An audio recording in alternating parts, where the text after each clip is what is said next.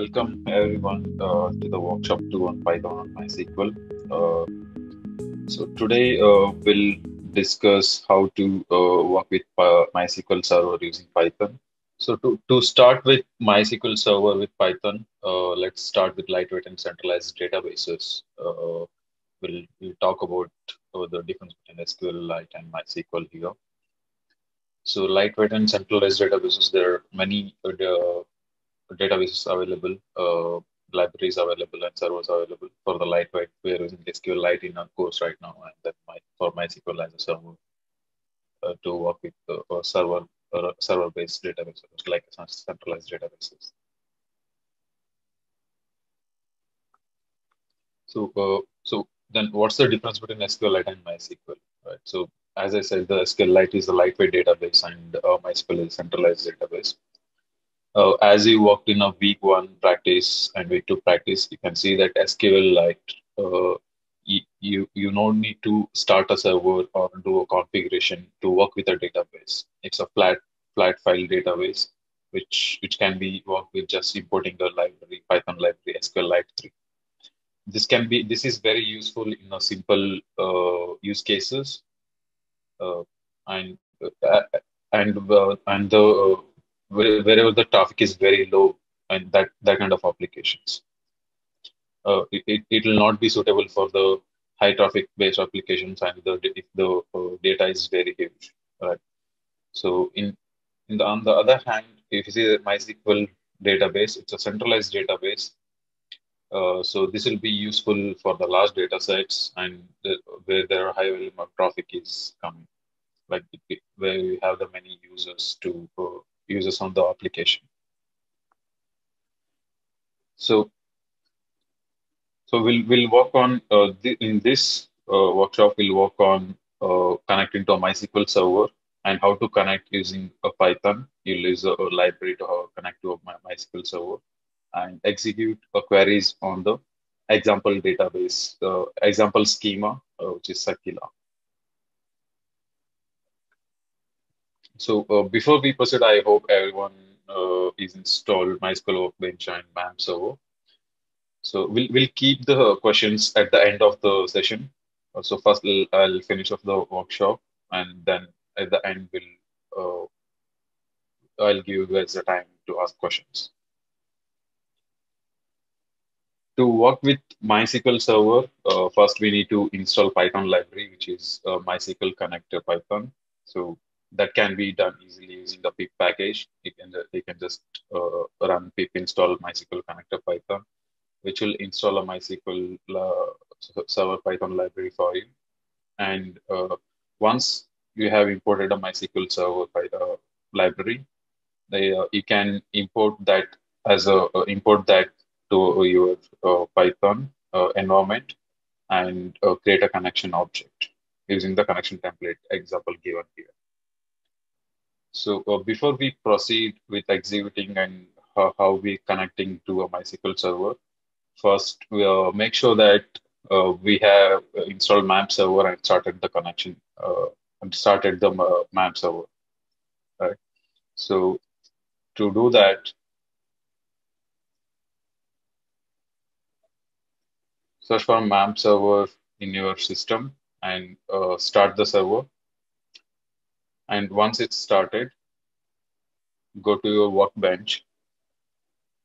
And uh, as you work, worked on the MySQL workbench in the last week uh, and the last last week's uh, workshop as well, so there will be a connection created uh, to a MAMP server. So just open the server and make sure that the session is connected to that uh, running uh, running connection you can you can uh, see that using the object in session. You can see that the schema is Sakila and the session is uh, session is established here.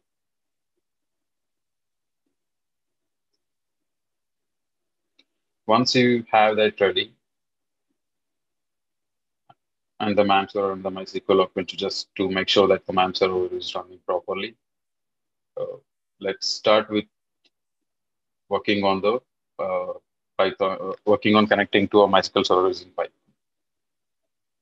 So start a Jupyter notebook uh, from your uh, uh, machine uh, from local server. Since we are working on the local MySQL server, we'll be using Jupyter notebook which is running locally.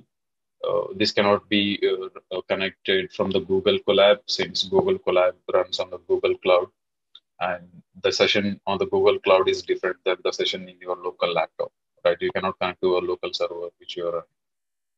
So for that, you need to have a, a cloud MySQL server running uh, to work within a uh, Google Colab or Jupyter notebook. So once you have uh, your Jupyter uh, up and running, create a notebook and install the MySQL connector Python using pip install MySQL connector Python. This will install the uh, library in your Python environment. Once that is done, uh, import MySQL connector and create a connection uh, object, right? So these are the arguments you need to connect to your uh, MySQL server. The username, the user which you have given to connect to a MySQL server, and the password. Uh, in in my case, it's I given it as just username itself root. You can give uh, just know that whatever the password you given when the MAMP server is started. If you have forgotten the password and the connection details, you can always go to MAMP server. You can always go to MAMP server and click on web start. So this will, this will land you in a, uh, a MAMP web page. In there, go to MySQL section and you can see that there, there are configuration details available. You can see the host, port, username, password, and everything. And the another good thing is that you can see that example section here. Go to Python section and then it will walk you through how to connect to a MySQL server as well. So once your connection object, uh, once you connect it to your database, it will return you a connection object. Once you have the connection object, uh, you can you, you need to uh, create a cursor object to execute the SQL statements and interact with a MySQL server uh, using a MySQL connection object. Once you have the cursor object ready, uh, you can start using the execute method to run a, uh, SQL statements or operations. For example, you can see that here cursor.execute, uh, I'm uh, just getting all the data from actor table uh, and then limiting it to five here, right? So once that cursor object is created, it's an iterable object. Uh, so you can iterate over through the result here or you can get you can fetch all the rows using a fetch all method as well.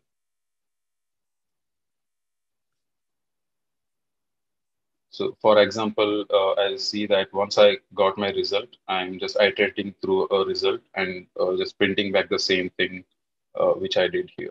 To just to show you that it's an iterable object.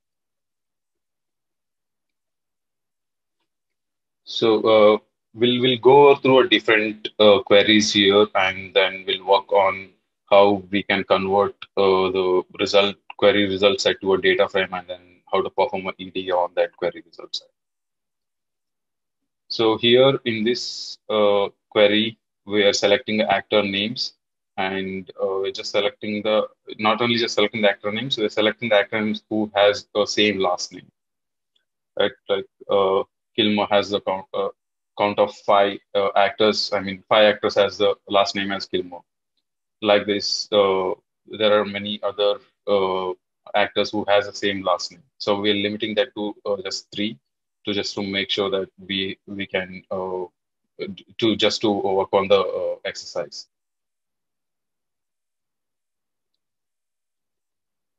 And the another example query is that uh, select a title, uh, movie title, where uh, it contains or where, it has a pirates word in it. Right. So to do that, we can use a like operator uh, to get the uh, result, so result set, uh, query result set who has a uh, uh, result, query result set in, in movie has the pirate name, pirate word in it. We can say that pirates and twisted pirates. So these are the just an example of executing the queries, right? So as you see that in, in the upcoming assignment, you you also have uh, you, also have to perform a, a exploratory data analysis and visualize the uh, query results right? So how do you convert that? How do you do that using uh, MySQL uh, server and the MySQL uh, query results? Right. So to do that, uh, first get the query result set using fetch all method so that you have a result in a, a dictionary format for all the rows and import a pandas library and once you imported that, convert that to a, a data frame. So as you can see that uh, I converted to a data frame, uh, the my result, which is nothing but just a fetch all. It's a set of, I mean, the collection of rows and the type of DX, you can see that it's a data frame. So this is a one way of converting a query result set to a data frame, but uh, there's another way to do that as well using a pandas. Uh, there is a method available uh, called read SQL. It will read the query and fetch the result from the particular table and uh, give you back the data frame. So uh, once once the uh, once the query result set is converted to a data frame, so how do you do a data analysis on that? How do you do exploratory data analysis on the query result set? Right. So you can do it in a two ways. You can just use a matplotlib or you can use a seaborn as well. So I'm using uh, uh, both here. I'm using uh, mainly I'm using seaborn here, and then using just uh, matplotlib to uh, just configure the figure size.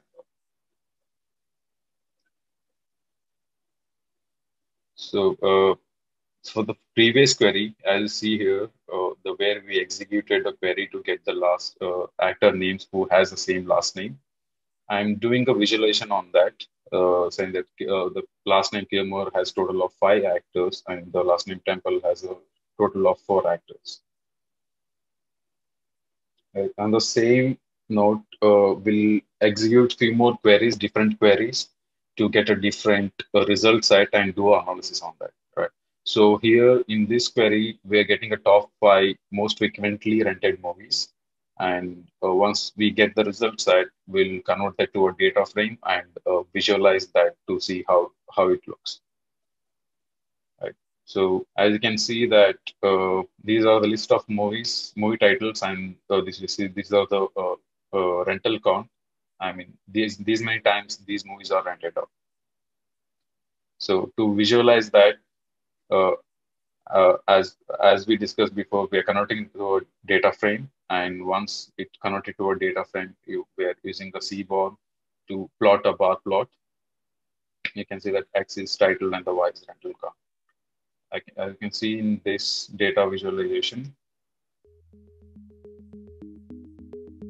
this movie, the uh, Bucket Brotherhood, is rented almost more than uh, 30, 34, 33, 32 times. I mean, you can see 34 times. Right. So yeah, so this is this is how you visualize uh, your query results at uh, using pandas.